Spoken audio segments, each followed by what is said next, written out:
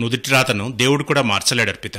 అలా మార్చగలిగితే భగవంతుడు పక్కనే ఉన్నా పాండవులు అన్ని కష్టాలు పడేవారు కాదు. అన్ని కర్మ కొద్ది జరిగాయని వదిలేస్తే సమాజంలో దుర్మార్గం ఎక్కువైపోతుంది మావయ్య గారు. వాణ్ణి ఖచ్చితంగా ఉరికంబం ఎక్కించాలి. అవన్నీ చూసుకోవడానికి పాల్గొనున్నాడు కదమ్మా. వాడు అసలు అన్యాయాన్ని సహించడు. వదినా మరిప్పుడు ఈ పాప పరిస్థితి ఏంటి? ఆ ఏముంది?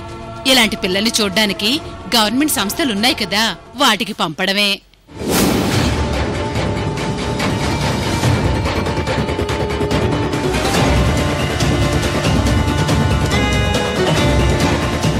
పాప ఎక్కడికి వెళ్ళదు అత్తయ్య గారు.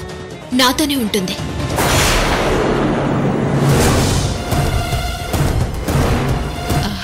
అది కాదమ్మా. నువ్వు మాతో కలిసుంటే అందరం కలిసి పాపం చూసేవాళ్ళం.